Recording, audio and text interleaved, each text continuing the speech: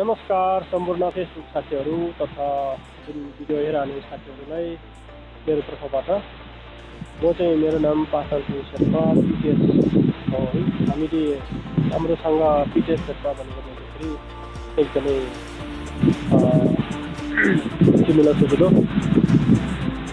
अनि अहिले यो हामी यतिखेर समुद्र सतहदेखि साढे तेइस सयको उचाइमा भएर हामी टिभी खेती गरिरहेको छौँ। यस फर्मको नाम सर्वखासा कृषि फर्म प्राली हो?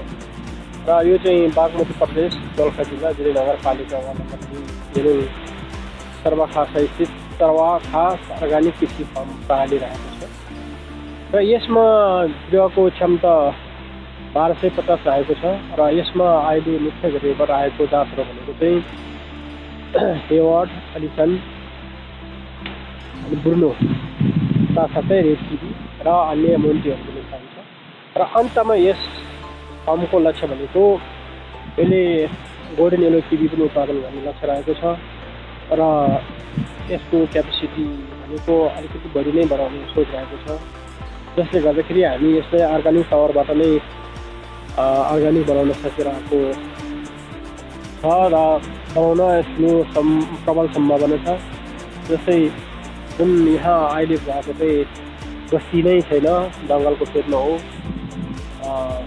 र यहाँको स्रोत साधनले हामीलाई खेती गर्नुको पनि साथ दिएको छ र भर्खरै हामीले रोपेर दुई वर्ष भएको बिरुवा नै यो हो र यो चाहिँ हेवार जातको हो जस्तै हेवार भन्नाले यो एकदमै गोलो र बजारको माग चाहिँ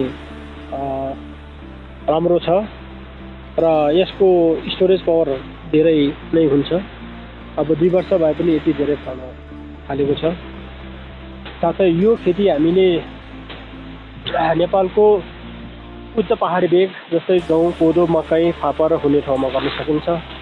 र त्यहाँ नेपालको पहाडी बेगमा तपाईँ हामी सम्पूर्णले रहेर यो खेती गर्न सकिन्छ। जुन यो खेतीबाट हाम्रो आर्थिक अवस्थालाई चाहिँ राम्रोसँग उठिन्छ। जस्तै यहाँनिर यो जुन बिरुवाहरू यतिको राम्रो साइजमा फलाउन सक्यो भने हामीले बजारको लागि कुनै पनि समस्या छैन। र आजको दिनमा नेपालमा फलेको किबी फल विश्वको बजारमा पनि चिनाउने मेरो लक्ष्य सायद हाम्रो समाज नेपाली किसानको पनि हुनुपर्छ। र पूर्ण मुख्यतः सर्वखासा कृषि फर्म प्रणालीको लक्ष्य नै नेपालमा फलेको किबी फल विश्वको बजारमा चिनाउने उद्देश्य रहेको छ। साथमा जुन हामीले फलेको र फलाएको साढे दुई वर्षको बिरुवाले यसरी फल दिन दिइरहेको छ र मेरो अन्य बगानमा हार्भेस्टिङ गरिसकेको र अवस्था हो। र अहिले अब यो चाहिँ अन्तिम चरणमा हार्भेस्ट गर्ने लागिरहेको छ। यो खेती गर्नको लागि त्यति ठुलो प्रविधिक ज्ञान पनि आवश्यकता छैन। यो खेती गर्नको लागि त्यति ठुलो प्रविधिक ज्ञानको आवश्यकता छैन। यसमा हामीले सजिलैसँगले बिरुवा रोपेर गोडमेल गर्ने बित्तिकै यो खेती हामी गर्न सक्छौँ। सक्छौँ। र जसले गर्दाखेरि यो खेती समुद्र सतहदेखि बाह्र सय मिटरदेखि चौबिस सयको मिटरमा राम्रोसँग यसको उत्पादन लिन सकिन्छ। जसबाट हामीले आर्थिक सपोर्ट हुन्छ र आम्दानीको स्रोत बनाउन सकिन्छ। राज्यको निकायबाट पनि यो एउटा किबी खेतीलाई पूर्णतया रूपले किबीमय बनाउने किबी जोन बनाउने राज्यको जुन नीति थियो त्यो नीतिलाई पनि हामी सम्पूर्ण किसान दाजुभाइ तथा दिदीबहिनीहरूले यसलाई सहकारी बनाउनुपर्छ भन्ने मेरो सम्पूर्ण नेपालको किबी किसान तथा अब आगामी दिनहरूमा किबी किसान कृषक भन्न चाहनेहरूको लागि मेरो आग्रह हो। हामी किसान नबनौँ हामी कृषक नबनौँ हामी कृषि उद्यमी बनौँ। जसले गर्दाखेरि राज्य र समाज टोल जिल्ला र देशलाई समेत टेवा पुग्ने हिसाबले हामी व्यवसाय गरौँ। यो चाहिँ म तपाईँहरू सम्पूर्णमा आग्रह गर्न चाहन्छु। अब अहिलेको परिवेशमा नेपालमा सबैभन्दा सम्भावना भनेको कृषि नै हो। जस्तो नेपालको भौगोलिक अवस्थाले र हाम्रो जुन लगानी हामीले गर्न सक्ने हाम्रो अर्थतन्त्रलाई नै कृषिबाट नै राम्रो टेवा पुऱ्याउन सक्यो भने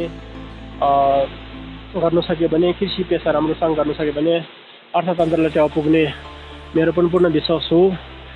हामी एकजना व्यक्ति एउटा जीविकोपार्जनले मात्रै हुने होइन कि